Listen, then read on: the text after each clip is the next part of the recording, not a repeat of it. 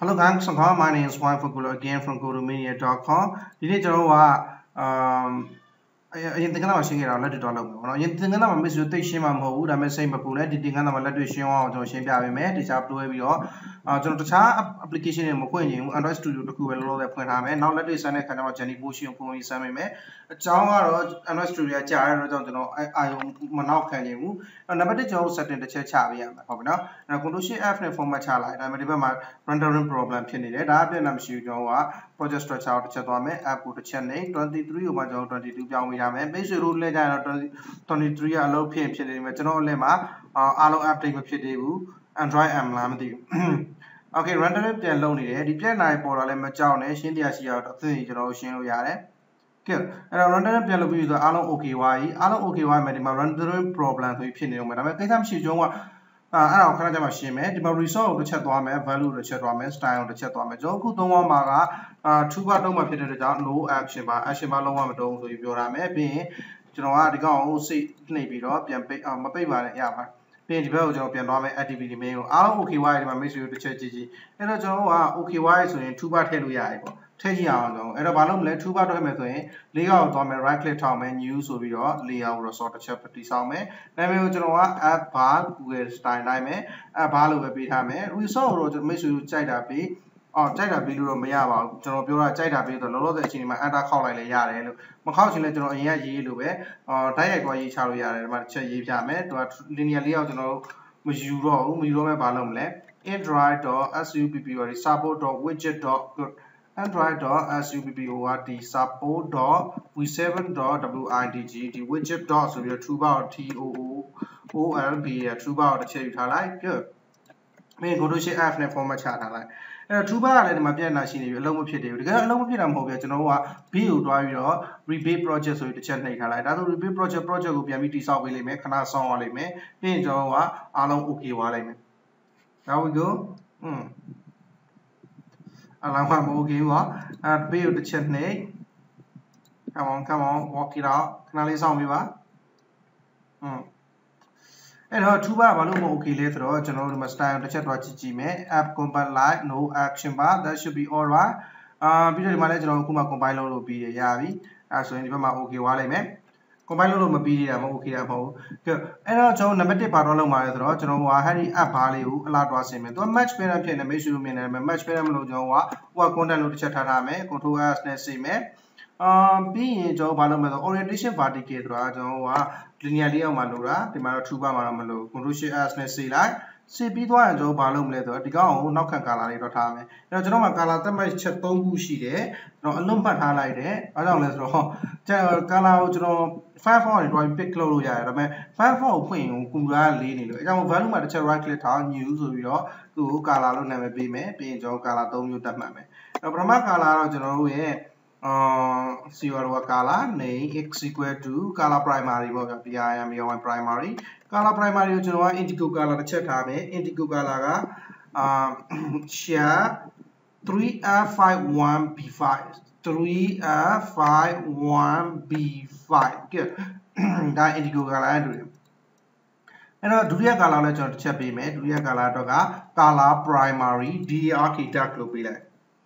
DA architect သူ့ရဲ့တန်ဖိုးတော့ကျွန်တော်က 303F9F အဲ့တော့ 303F9F လို့ပေးလိုက်မယ်တတိယကာလာတော့ကျွန်တော်က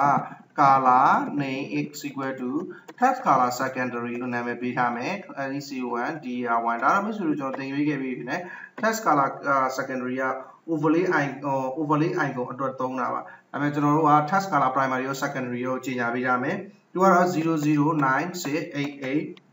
good 009688တို့ကျွန်တော် share site ခံထားပြီအာအဲ့ primary ရှိလို့ကျွန်တော်က color name x equal to android ရဲ့ text color task color co အလောက color prim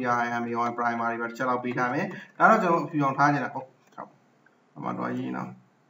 အာဒါတော့ကျွန်တော်အဖြူအောင်ထားခြင်းတယ်မှာ font size f တော့လုံး control shift f control s save လိုက်မယ်ခါမှကျွန်တော်လက်တွေ့တွားကြည့်မယ် co အလောက color ကိုဒီလိုတစ်ချက်ရေးပေးထားလိုက် good အဲ့တော့ဒီမှာ rendering လုပ်တာအောင်မြင်သွားပြီလားအောင်မြင်သွားပြီဒါနည်းနည်းကြာတယ်ဗျာနော် rendering လုပ်တာအဲ့တော့တိတ်တော့မစိုးရိမ်နဲ့စိုးရိမ်စရာတော့ကောင်းတယ်ဘာမှမသိဘူးဖြစ်နေလိမ့်မယ်အဲ့တော့နံပါတ်1ကျွန်တော်တို့ဘာလုပ်မလဲဆိုတော့ကျွန်တော်မိတ်ဆွေတို့တစ်ချက်ပြရမယ်ဒီကကျွန်တော်အပေါ်က flat bar လေးကိုအရောင်ပြောင်းမယ် flat bar လေးကိုအရောင်ပြောင်းခြင်းကျွန်တော်မိတ်ဆွေတို့သင်ခဲ့ပေးပြီးတာမှတ်မိမယ်လို့ထင်တယ် flat bar ကဘာနဲ့ဆိုင်တာတော့ primary color primary dark color done နဲ့ item name x equal to color primi primary drk dark PRI ကျန်ခဲ့တယ် PRI MBY primary DRK dark 2ရှိမှကျွန်တော် Android မခံဘဲနဲ့ရေးမယ်ပြီးရင်အကောင်ကျွန်တော်ဟိုဘက်မှာတက်မှတ်ခဲ့တယ်ကျွန်တော်တို့တက်မှတ်ခဲ့တဲ့ color file တွေကတွားယူ color အာ color primary dark ဆိုပြီးတော့ COLO COLO color primary dark လို့ပေးထားမယ်ပြီးရင်ကျွန်တော်တစ်ချက်ပေးပေးလိုက်မယ်အဲ့ဒါကိုလို့ရှိ F နဲ့ format ရှာမယ် C တစ်ချက်နှိပ်ပြီးတော့ activity main မှာတစ်ချက်သွားခြင်းအပေါ်ဘားလေးပြောင်းသွားတာတွေ့ရလိမ့်မယ်ကျွန်တော် flag bar လေး အဲသူများကတော့ static bar လို့ခေါ်တယ်ကျွန်တော်လည်း static bar လို့ခေါ်တင်ပါတယ်ကျွန်တော်က flat bar လို့ကြည့်ပါတယ်လို့ဟိုအရင်ကဟို full screen ဖြစ်ခြင်း get window.set.flat မှာတော့ဒီကောင်ကကျွန်တော် flat full screen လောက်ရတာလေနော်မှတ်မိမယ်လို့ထင်တယ်ဒါလေးတွေလွယ်လွယ်လေးတွေမမှတ်မိလည်းတိတ်မကောင်းဘူးအမြဲတမ်းစာအုပ်ကြီးကြည့်နေရတာဖြစ်ဖြစ်မှတ်ချက်ကြီးလိုက်ကြည့်နေရတာဖြစ်ဖြစ်ပေါ့အဲ့တော့ကျွန်တော်နောက်ထပ်ကိုပိုင် ST YRD style တစ်ခုတည်ဆောက်မယ် name ကို my own OWI ဖြစ် own တည်ခါမော own THEM တင်းလို့ပေးလိုက်မယ်သူ့ကိုကျွန်တော်က style နှမျိုးတက်မှတ်မယ် item id ရဲ့ item basic item name x equal to ပြီး android ရဲ့ background လို့ an dry နဲ့ android basic ရဲ့ background သူ့ background တော့ကျွန်တော်တို့ကအာဘာအယောင်ပေးမလဲဆိုတော့အဲ့တော့ color primary ပေးလိုက်မယ်ဟုတ်တယ်ခုမှ color ပြီးတော့ color primary good အဲ့တော့သူ့ကိုကျွန်တော်တို့ကနောက်ထပ်ကြတော့သူ့ရဲ့ဘာကိုပေးအောင်မလဲဆိုတော့ text color ကိုတစ်ချက်ပေးအောင်မယ် idm item name x equal to android um tx text zero color uh b is primary လား text color primary good text color primary ကိုကျွန်တော်အဖြူအောင်ထားမှာဖြစ်တဲ့ကြောင့် fff ပေါ့ controllers နဲ့စေထားလိုက်နောက်တစ်ခုကျွန်တော် secondary color ကိုလည်းပေးခြင်းနေတယ်ဒါပေမဲ့ခဏမှပေးမယ်လက်တွေ့တော့ကြည့်လက်တွေ့တော့မကြည့်ခင်ဒီမှာ PR ရဲ့နေ parent t တစ်ခုတက်မှတ်မယ်ကျွန်တော်ရင်ရတင်လာတဲ့အတိုင်းပဲဥပမာကျွန်တော် app t နဲ့ပေးလို့ပဲ overlay t နဲ့ကမှ lighting ကိုတစ်ချက်ယူထားလိုက်ဒီ overlay t lighting ကကျွန်တော် app t ကနေယူမှာကျွန်တော်ခုဒီ theme ကို copy ကူးပါပြီးရင် app bar ကိုသွားမယ်ဒါမိတ်ဆွေတို့ရင်တင်ကန်းလောက်ကြည့်ခဲ့လွယ်လွယ်လေးနော်အရင် Android ရဲ့ sorry Android မဟုတ်ကျွန်တော်က app ရဲ့ HTML theme ကိုပြောင်းမယ်ဘယ်ကနေပြောင်းမှာလဲဆိုတော့ SYI style မြင်တော့ကျွန်တော်တို့တက်မှတ်ခဲ့တယ်အဆုံးအောင်တက်မှတ်ခဲ့တဲ့ theme ဒီမှာ namespace ခုတည်ဆောက်ပေးလိုက်မယ်အားလုံး okay ပါပြီ control အာ share as မှနေပြန်တယ်ဒီမှာတော့နေ rendering လောက်တာကြားနေလို့ခဏဆောင်ပြီခဏဆောင်ရင်သူ okay ွားလိုက်မယ် namespace ဘေးဘေးဘေးသူကတော်တော်ကြာပါတယ် rendering လောက်တာကိုပုံမှန်ထက်အဲ့ခဏလေးဆောင်ပေးလိုက်ကျွန်တော်တို့ဒီမှာပေါ်လာမယ်မပေါ်လာတခုမှားတယ်လို့ပေါ်လာပြီကျွန်တော်တို့ဒီမှာလာပြီးတော့ app bar လေးပေါ့နော် ကျွန်တော် application bar ပေါ်လာပြီအဲ့မှာမှမိတ်ဆွေတို့ကျွန်တော်တစ်ချက်ပြလို့ရတယ်လုံးလုံးလည်းမပြဘဲနဲ့ခဏကြာမှပြမယ်အာကျွန်တော်မှတ်ချက်ထားခင်ကောင်းမှထင်တယ်လုံးလုံးလည်းမပြဘဲနဲ့ခဏကြာပြမယ်နောက်မှဆိုကျွန်တော်မိမိနေမှာဆိုလို့ to show um to show above uh come on to t h t above app အာပေါ်အတင်းပေါ့ VOP UP DHME တင်းကဲဒါကမှတ်ချက်ပေါ့ခဏထားခဲ့တယ် အဲ့တော့ရပြီကျွန်တော်တို့ကတင်းဒီမှာတင်းတစ်ခုတိဆောက်ပြီးသွားပြီအဲ့တော့ဒီဒီ action bar လေးတိဆောက်ပြီးပြီဆိုရင်ကျွန်တော်လက်တွေ့မသုံးရတယ်ဘူးလက်တွေ့သုံးရင်ဘာလုပ်ရမလဲအဲ့ဒီကျွန်တော်တို့ဒီမှာလာပြီးတော့လာထည့်ပေးရမယ် main activity မှာကျွန်တော်တို့အသုံးပြုခြင်းနဲ့ toolbar ပြောတာเนาะ action bar မဟုတ် sorry about that အဲ့တော့ toolbar လေးကိုကျွန်တော် INCNUD include ဆိုပြီးတော့သူ၄ယောက်တစ်ခုထဲမှာအမှမှာကျွန်တော်ဘယ်ရဲရလဲအဲ့၄ယောက်ထဲမှာ app bar ကိုထည့်မယ်ကျွန်တော် ID ဘာတစ်ခါတက်မှတ်မယ် ID ကို apply sign ဒီ my bar လို့တက်မှတ်လိုက်တယ်ပြီးရင်မပေးလိုက်မယ် good there we go control shift f နဲ့ format ချထားမယ်ပြတာလည်းရှိတာသူကဘေးမှာဒီဘက်မှာမိတ်ဆွေညာဘက်ကလာကြည့်လိုက် pattern တွေချားတာတွေ့ရမလားအပေါ်မှာဘာလို့လဲအဲ့ဒီက pattern left right border မှာ16 dpc ထားတာလို့သူတို့ဖြတ်ပေးလိုက်ရင် pattern မချားတော့ဘူးအဲ့ပြတာထက်ရှိနေရင်ဘာလဲကျွန်တော်အဲ့ဒီ hello world ဆိုတဲ့ text လေးက အဲ့ဒီ text လေးကအပေါ်မှာလာကက်နေတယ်သူ့ကိုကျွန်တော်တို့ကဘယ်အောက်မှာထားရမှာလဲ2 bar ရဲ့အောက်မှာထားရမှာအဲ့2 bar ရဲ့အောက်မှာဖြစ်တဲ့ကြောင့် Android layout below app id ပြီးတော့ my bar လို့ပေါ်ပေးလိုက်ပေါ်မှာ id တက်မှတ်ပြီးတော့အောက်ကခေါ်ထုတ်တဲ့အတွက် reference ခေါ်သုံးတာဖြစ်ပါတယ်ဒါကြောင့်မို့ကျွန်တော်က apply sign ဒီလိုမတက်ဘူး plus မထည့်လိုက်ရတယ် plus ထည့်လိုက်ရတယ်အောက်မှာဆိုရင်တော့ထည့်ရတယ် okay good အဲ့တော့ဒီမှာ text bar 2 bar ရပါပြီသူ့မှာကျွန်တော်က main activity မှာလက်တွေ့လာထည့်ပြီးတော့မယ်အဲ့တော့ဘယ်လိုကျင်ညာရလဲ ဒီကို private ကျွန်တော်အမြဲတမ်းကျင့်ပါနေပြီ2 bar 2မှာဒီ2 bar မှာဒီ bar လို့ကျွန်တော်ပြောလိုက်မယ် dbar bar okay ဒီ2 bar မှာတတိတစ်ချက်ထား order enter name import class မှာ class ကနှစ်မျိုး import လုပ်လို့ရတယ် android widget 2 bar နဲ့ android support v7 widget 2 bar ကျွန်တော်တို့က android support v7 widget 2 bar ယူမယ်ဘာဖြစ်လို့လဲမေးဆိုတော့တစ်ချက်ကြည့်ကြည့်ထပ်မှလာပြီးတော့ကျွန်တော် apply လုပ်ခဲ့တဲ့ကဒီမှာ minor တစ်ချက်လုပ်ထားမယ် အမှလာပြီး apply လုပ်ခဲ့တဲ့ Android support v7 widget 2 bar ကိုကျွန်တော်တို့သုံးနေတာအဲ့တော့ဒီမှာလာပြီး import လုပ်တော့လေ widget ကို2 bar ကို import လုပ်ရင် Android support v7 widget 2 bar ကိုဟိုခေါ်ဖို့လိုတယ်အဲ့တော့အဲ့ဒီ2 bar ကိုကျွန်တော်ကအပေါ်မှာ declare လုပ်ခဲ့ပြီးတော့အောက်မှာ referencing လုပ်ပြီးမယ်2 bar x equal to 2 bar တခုစီတောင်းပြောပြီးရင်ကျွန်တော်တို့ file view by id r.id.tbr bar အော် my bar ကျွန်တော်နာမည်ပေးခဲ့တာ my bar တယ် my bar there we go my bar ဟုတ်လားမဟုတ်လားမေးသလိုကြည့်ရင် activity မှာတွားကြည့်ကျွန်တော် ID ကိုဗာပေးခဲ့လိုက်လေ my bar okay good တော့ရတာတော့ရသွားပြီတကယ်လက်တွေ့သုံးလို့ရအောင်လို့ကျွန်တော်ဗာလုပ်ပေးရမလဲကြာသွားတဲ့အချိန်မှာစမ်းတက်ပြမိတ်ဆွေတို့ထူးခြားတာတစ်ခုတွေ့လိမ့်မယ်ကျွန်တော် channel motion ကိုတစ်ချက်ဖွင့်လိုက်မယ်အဲ့ထူးခြားတာဗာလဲဆိုတော့မိတ်ဆွေတို့ပြကြတယ်လို့ There we go ကျွန်တော် Google Nexa 4တစ်ချက် run ထားမယ်စိတ်ထဲက Nexa 5က run နေကြမှာဟိုတော့ run လည်းအဆင်ပြေပါတယ်ဒါပေမဲ့ အဲပုံများလေးမလားပုံများလေးမလားနဲ့အဲ့လိုဖြစ်နေတယ်ဒီတော့အားလုံးကလေးတာပါဗျ Android ဟလား AWS project ကြီးတစ်ခုလုံး Android operating system ကြီးတစ်ခုလုံးကျွန်တော် run နေရတာပဲဟုတ်လားပို့ဆိုတာ Jenny Motion Jenny Motion ကကျတော့ virtual box about virtual box ကို run ပြီးလုပ်တယ်ဆိုတော့အမှကိုယ့်ကားတွေဖြစ်ကုန် virtual box ကို Jenny Motion ရော Android Studio ရော PowerPoint မှာဖွင့်လိုက်ရင်ပူလောင်ဆိုးတယ်အခုကျွန်တော်ကဘာလုပ်လဲအတန်တွင်းတော့ကျတော့အဲ့ဒီ Camtasia ကိုလည်းဖွင့်ထားရတယ် wow too much wow too much process လို့ပြောရမှာ။မိတ်ဆွေတို့ကျွန်တော် process နဲ့ multi thread နဲ့မှာ process တွေအကြောင်းသင်ခဲ့ပြီးပြီ။မှတ်မိမယ်လို့ထင်တယ်။နောက်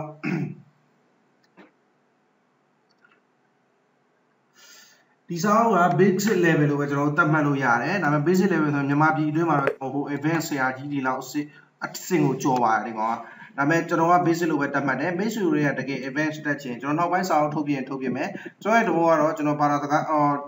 အဲ့တော့ programming ဘာသာ22မျိုးနဲ့စာအုပ်ထုတ်သွားမယ်အဲ့ဒါပြီးတော့မှကျွန်တော် advanced တွေကိုသွားမယ် okay good အဲ့တော့ Jelly Motion စ run နေပြီအားလုံးလည်း up and running ဖြစ်ပြီးတော့ကျွန်တော် PM run တစ်ချက်လုပ်လိုက်မယ်ခဏဆောင်ကျွန်တော်ရဲ့ဖုန်း Google နဲ့ Jelly Motion ကို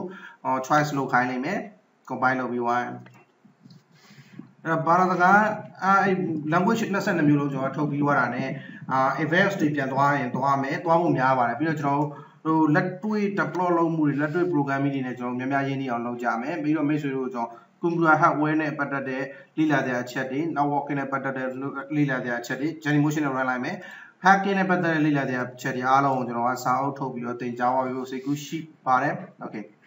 လာပြီဒီမှာ hello world ရပြီကျွန်တော်တို့ရဲ့ action bar လေးလေးပေါ် to bar လေးလေးပေါ်နေပြီအဲမိတ်ဆွေတို့တစ်ချက်တတိထားမိလားဒီ to bar လေးကအားလုံးပြောင်းမယ်သူ့မှာကျွန်တော်တို့ setting icon လေးကိုနှိပ်ဖို့မပေါ်မပေါ်ပြထားဘူးအဲ့လိုပဲ title bar ကိုမပေါ်ပြထားဘူးအခုကျွန်တော် title bar နဲ့ setting icon ကိုပေါ်ပြခြင်းမိတ်ဆွေတို့ဘာလုပ်နေမလဲမှန်ပါတယ်အာ set supported action bar ဆိုပြီးတော့ come on sucker there we go အဲအဲ့တော့ tbr ပါစီရောတစ်ချက်နေလိုက်မယ်ပြီးရင်တော့တစ်ချက်နေချလိုက်မယ်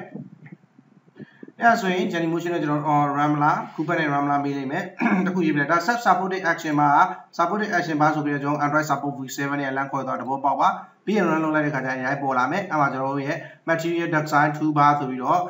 application ရဲ့ title application name ပေါ်လာမယ်အဲ့လိုပဲညာဘက်ကအဲဒီ setting လေးပေါ်လာနိုင်မယ်အဲဒီ setting လေးကအပြောင်းအောင်ဖြစ်နေတယ်မိတ်ဆွေအရောင်ပြောင်းနေလားပြောင်းနေတယ်ဆိုကျွန်တော်ဒီလိုလုပ်လို့ရတယ်အဲ့တော့ app bar ကိုသွားမယ်ကျွန်တော် theme တစ်ခုထပ်မှတ်မယ် တတ်မှတ်မယ်အဲ့ဒီဒီ area ကိုကျွန်တော်တို့ဘာလို့ခေါ်လဲဆိုတော့ toolbar ရဲ့အဲ့ဒီ setting bar လေးပေါ်တဲ့ area ကိုကျွန်တော်တို့က o အာဘယ်လိုလဲ pop up theme pop up area လို့ခေါ်တယ်အဲ့ဒါမှကျွန်တော်တို့ပြောင်းနေတယ်ဆို app မှာမှာ pop up theme ကိုကျွန်တော်တို့ပြောင်းလို့ရတယ် app ဆိုပြီးတော့ style မိတ်ဆွေတို့ကျွန်တော်တို့ထုတ်ထားတဲ့ style ရှိလားထုတ်ထားတဲ့ style ရှိလားတစ်ချက်သွားကြည့်ရင်မရှိသေးဘူးမရှိတော့ကျွန်တော်အပေါ်က copy ကူးချလိုက်မယ်ပြီးရင်အမှလာပြီးတော့ my own theme tool လို့ပေးလိုက်မယ်သူ့ရဲ့ကျွန်တော် background ကိုကြတော့ light ထားလိုက်ရ dark ထားလိုက်ရ dark ထားလိုက်မယ်ပြီးမှသူ့ရဲ့ background color ကိုကျွန်တော်တစ်ချက်ပြောထားမယ် background color ကိုတစ်ချက်ပြောင်းထားလိုက်မယ် background color ကို color primary dark လို့ပြောင်းထားမယ် color primary dark ကဟိတ် color ရနော် color primary on text color primary ထင်တယ် text color primary မလုပ်ဘဲနဲ့ကျွန်တော်တို့ကသူ့ကို color CY1 color PRM primary PRIMA PRMAY primary 2လို့ပဲပေးထားလိုက်မယ်တကယ်တော့အဲ့နာမည်မပေးတင်ဘူးထားလိုက်ပါ control C ကျွန်တော် C ရောတစ်ချက်နှိပ်ထားမယ် style ပြန်လာမယ် အဲ့လိုလာပြီးတော့အဲ့အရာကိုကူးချပေးလိုက်မယ်အဲ့တော့ကျွန်တော်ရဲ့ my own theme ဆိုရတူရလာ sorry my own theme 2ရလာပြီပြီးရတာကိုကျွန်တော်ဒီမှာလာပြီး apply လုပ်ပေးလိုက် apply လုပ်ပြီး save လိုက်မယ်ပြီးတော့ run ပြမယ်မိတ်ဆွေတို့ဗာများထူးခြားသွားလဲလို့ဒီမှာ minus တွေတစ်ချက်အခန်းလာတို့လိုလိုလာကြီးနေတယ် okay ကျွန်တော် run လာပြီးခဏစောင့် journey motion နဲ့တစ်ချက် run ပြပေးမယ်ပြီးရင်မှလာပြီးလာကြည့်ပေးမယ်ပြီးရင် run လုပ်နေပြီခဏလေး okay မှာတစ်ချက်နှိပ်လိုက်တဲ့ခါကျရင်အစိမ်းအောင်ဖြစ်သွားပြီဘာကြောင့်လဲကျွန်တော်က theme တစ်ခုကြီးညာလိုက်တယ် my own my own theme tool ဆိုပြီးတော့အဲ့ဒီ theme ကဘာကိုသတ်မှတ်ထားလဲ background color မှာ color primary 2 color primary 2ကဘာကလဲကျွန်တော်အစိမ်းအောင် color ဖြစ်တဲ့အဲ့ဒီအောင်ပေါ့အဲ့မှာ make sure တစ်ချက်တတိထားမိလားဖြူအောင်ဖြစ်နေတယ်ကျွန်တော်တို့အားလုံးအဆင်ပြေတယ်ကျွန်တော်အယောင်ပြောရမယ်ထင်လို့တစ်ချက်တတိထားမိလားလို့မေးတာ okay good အဲ့ဒါဆို2ပါရပြီ2ပါမှာကျွန်တော်ကအာဘာထည့်နေတာ အဲ့ဒီ toolbar မှာကျွန်တော်ဒီနားလေးမှာ action icon လေးတစ်ခုတွားထည့်မယ်ဟုတ်ပြီနော် action icon လေးတွားထည့်မယ်အဲ့ဒါဘာလဲဆို menu icon အဲ့ဒီ action icon လေးကိုတစ်ချက်နှိပ်တဲ့အခါမှာဘာဖြစ်သွားမလဲတခြား activity ကိုပြောင်းသွားမယ် very nice အဲ့တော့ကျွန်တော်က menu ကိုသွားမယ် menu main ကိုတစ်ချက်ဖွင့်မယ်အဲ့မှာနော် menu ကိုသွားတယ် menu main ကိုတစ်ချက်ဖွင့်တယ် control F နဲ့ format ချပြီးတော့ကျွန်တော် item တစ်ခုတည်ဆောက်မယ် item item တစ်ခုတည်ဆောက်တာနဲ့ ID တစ်ချက်ပေးမယ်ကျွန်တော်က apply sign ဒီ my actl action 1လို့နာမည်ပေးလိုက်မယ်ပြီးရင်ကျွန်တော်မှာတစ်ချက်လာပိတ်ထားမယ်တည်ကြအောင်လို့ control F နဲ့ format ချမယ်အောက်ကိုမစင်းတာတစ်ကြောင်းပဲရှိတယ်လို့အဲ့တော့ item အမြဲတမ်းပါပါလဲ Android ရဲ့ title ပါရတယ်ဒီ title ကဘာမှသုံးပါလဲ item ကတကယ်လို့မပေါ်ပြနိုင်တဲ့အချိန်မှာ no for just in case လို့ပဲကျွန်တော်နာမည်ပေးလိုက်မယ် just in CLC case လို့ကြိုက်တဲ့နာမည်ထားလို့ရတယ်ဒါဆိုရင် title ရရင်ပြည့်နာမရှာတော့ဘူးဒါပေမဲ့ကျွန်တော်က app တော့တခါ ဒီမှာမေးဆိုလို့ Android လို့မရေးပြရင် Android show x action ဆိုရင်တော့အမားပြနေလိမ့်မယ် always ဆိုမှတကယ်တော့ကျွန်တော်တို့ application ကျွန်တော်အခုထည့်မဲ့ icon လေးကိုအဲဒီ action ဘာမှပေါ်ပြပေးလိမ့်မယ်အကောင်မထည့်မပေါ်ပြဘူးကျွန်တော်က Android လို့မပြောဘဲနဲ့ app လို့ပြောလိုက်မယ်ပြီးရင်ကျွန်တော်က control shift f နဲ့ format ချပြီး save လိုက်မယ်ဒါပေမဲ့ဒါ item တော့ထည့်ပြီးသွားပြီဒါပေမဲ့အဲဒီ item အနေနဲ့ပေါ်ပြမဲ့ icon မထည့်ရသေးဘူးအဲ့တော့ icon လေးကိုကျွန်တော်ထည့်မယ်ဆိုတော့ number 1ကျွန်တော်ကဘာတော့လုပ်မလဲဆိုတော့ desktop ကနေကျွန်တော်ရဲ့ပုံလေးတချို့တွားယူလိုက်မယ် desktop ပြီးရင်ကျွန်တော် drawable တွေကနေပြီးတော့ ပုံတချို့ကျွန်တော် Android project တစ်ခုအယူထားတယ်တကယ်ဆိုရင် material design ပုံတွေယူရမှာခဏပဲနောက်ဆက်ကျွန်တော်ဒီပုံလေးယူလိုက်မယ် menu play ic အကောင်ယူပြီးတော့ကျွန်တော်အဲ drawable တွေကိုလာထည့်ပေးလိုက်မယ်နာမည်ကိုကျွန်တော်က go to အာ1လို့ပဲပေးလိုက်မယ်ဗျာဟုတ်ပြီအဲ့ဒီပုံလေးကိုမှကျွန်တော် Android ရဲ့ XRC ဆိုပြီးလာထည့်ပြီးတော့မယ် sorry XRC မဟုတ်ဒီမှာကျတော့ icon လို့တုံးတာပြီးတော့ app DIWAPN drawable တွေကမှာ အာသူ့1လို့ကျွန်တော်နာမည်ပေးထားတော့1လို့ပြလိုက်။ Okay လောလောဆယ် main ဆိုလို့မြင်ရလားမမြင်ရဘူးကျွန်တော် activity main ကိုတွားကြည့်ကြည့်မယ်ဒီမှာမြင်ရလားခါမှာဘာလို့မမြင်ရအောင်ဒီမှာမမြင်ရဘူးမမြင်ရရင်ကျွန်တော် save ပြီးတော့ run ကြည့်လိုက်မယ်တကယ်မြင်ရလားတော့ဒီမှာလက်တွေ့ project မှာမြင်ရလားပေါ့ဗျာနော်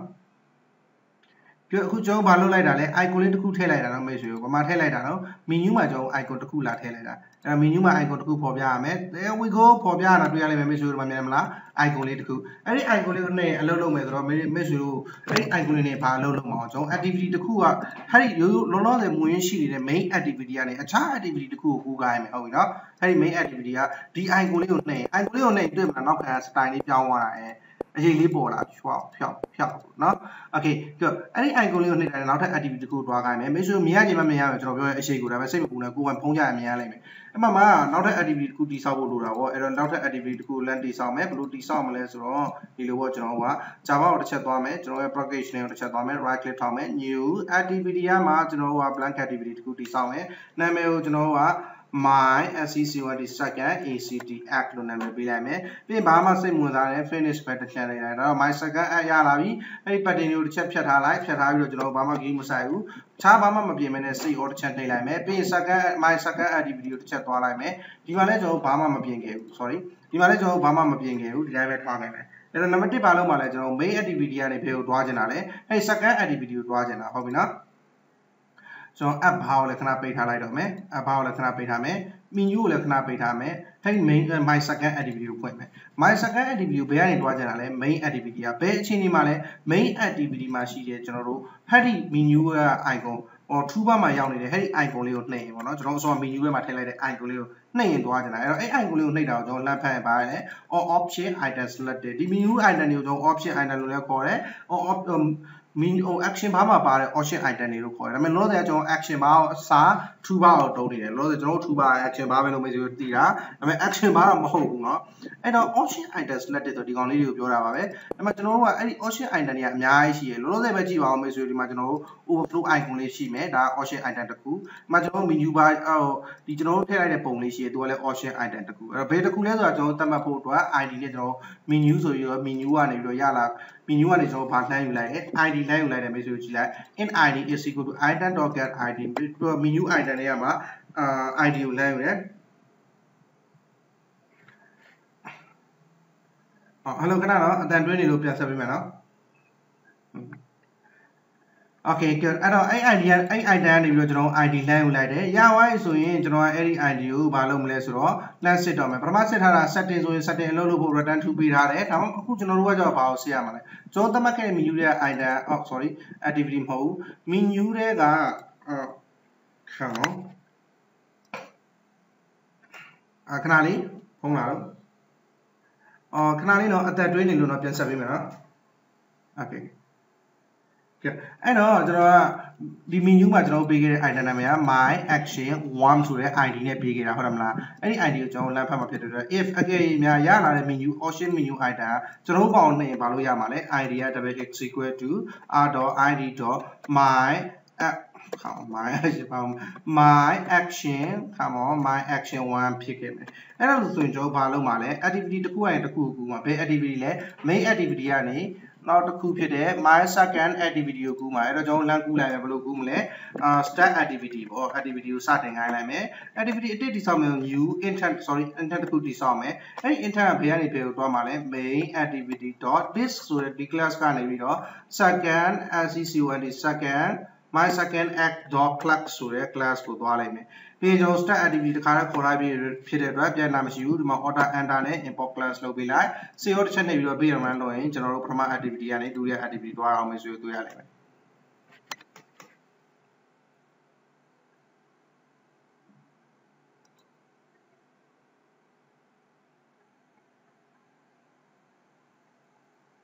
ခဏဆောင်နေကျွန်တော်ခဏဆောင်မှာကျွန်တော် project ကိုပြီးရအောင်လုပ်နေတယ် ဆိုတော့ဖုန်းလာတော့အတွက် sorry ပါပဲဒါပေမဲ့မဖြစ်လည်းမဖြစ်ဘူး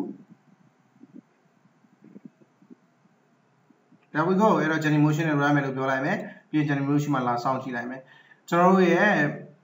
okay ဒီကျွန်တော်တို့ရဲ့ option menu လို့လည်းပြောလို့ရတယ်ကျွန်တော်တို့ရဲ့ အာ action menu icon လေးပေါ့အဲ့ကောင်လေးကိုတစ်ချက်နှိပ်လိုက်တာနဲ့နောက်ထပ် activity 50ကိုရောက်သွားနိုင်မယ်တော့ကျွန်တော်နောက်ထပ် activity နောက်ထပ် activity ကပြောင်းကြီးဖြစ်နေတယ်ကျွန်တော်ရှေ့ကိုပြန်သွားမယ်ပြန်သွားရင်ဒီမှာတစ်ချက်ပြန်လာနေပြန်ဒုတိယ activity ပဲ second activity ကိုရောက်သွားမယ် second activity ကပြောင်းကြီးဖြစ်နေတယ်ပြောင်းကြီးမဖြစ်အောင်ကျွန်တော်ဘာလုပ်လို့ရလဲနောက်တင်ကမှာသွားလို့မယ်ကျေးဇူးအများကြီးတင်ပါတယ် wifi ပူလာပါ codomania.com ပါ